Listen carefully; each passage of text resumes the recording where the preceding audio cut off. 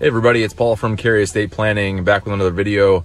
Uh, and it's Sunday again, Sunday morning, just like last week. My wife's doing a long run. She's doing 10 miles today. So I took the boys to Briggs for breakfast. Connor and Mason. And Connor's birthday party was yesterday.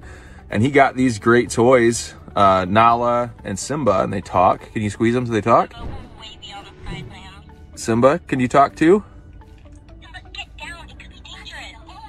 There you go. So cool. but I was, uh, you know, sitting this morning with with my kids uh, eating breakfast, and uh, was thinking about the week ahead. And I'm going to be flying to Phoenix at the end of the week, you know, late Wednesday night for a couple conferences on uh, law practice management, and um, it got me thinking. You know, people travel all the time. A lot of uh, spouses, you know, one will stay home while the others, you know, traveling for business, and and sort of. Um, it's probably more frequent than people realize, or or the significance of that is is uh, sort of uh, doesn't you know uh, equate for people sometimes. But uh, you know when one spouse leaves and goes on on uh, a trip or travels, there's always a risk that something could happen, a sickness or a, or an accident. Something? Yeah, at the end, you can say something at the end. Okay. there's always a risk that something could happen and and so it's really important to do pre-planning not just from a legal perspective but making sure that the other spouse who's who's staying home with the kids or without, you know, has access to all accounts. Uh, everything is appropriately beneficiary designated to the other spouse. Um, that you have powers of attorney in place. If if I'm in an accident, for instance, uh, while I'm gone, you know, my wife is my you know uh, attorney in fact, and she can help coordinate my affairs if I need that.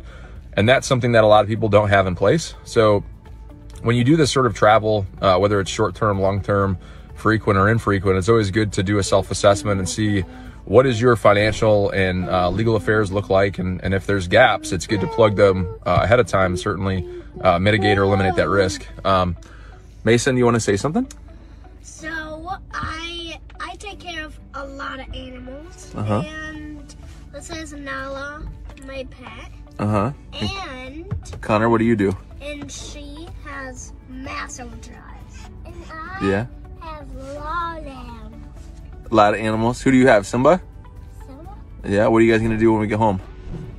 Um, play Lion King, of course. That's great, of course, right? And we're gonna play soldiers, of course, and and guns.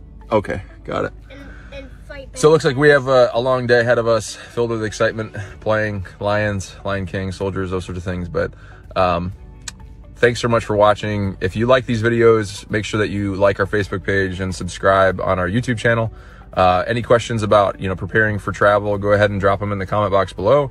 Um, if you want to go ahead and, and get planning provisions in place prior to an upcoming trip, click the link below and contact us, and we'll follow up and schedule an appointment to meet with you and decide you know uh, what that strategy needs to look like for you. Hope you all have a great rest of your Sunday and a, and a great week uh, coming up. This is Paul from Cary state Planning.